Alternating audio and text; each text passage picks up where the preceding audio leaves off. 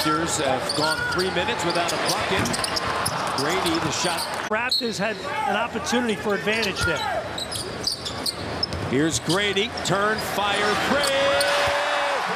Dick connects. Look, he's a little burly when he, but he, he gets his, he gets to his places that he needs to get the shot off. Gradey's knocked down a pair of threes.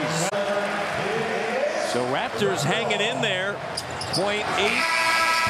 And that's going to do it for the opening quarter. Six-point game.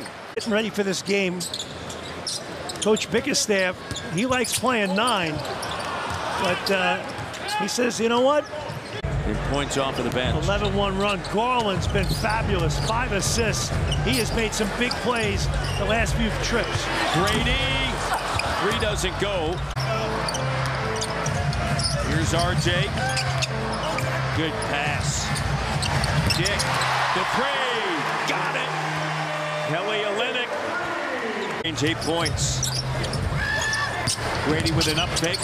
Driving. Oh! What a move by Dick along the baseline. In the NBA since the middle of December. And you can see why tonight. Navazi, Barnes, here's Dick in the corner. Kelly the three from Scarborough. well, it's hard to get in touch with you with a flip phone. Yeah. Here's Gradey at the line, and the first is good. Well, I've gotten past the rotary dial, so moving into the 21st century here. Gradey gets a second.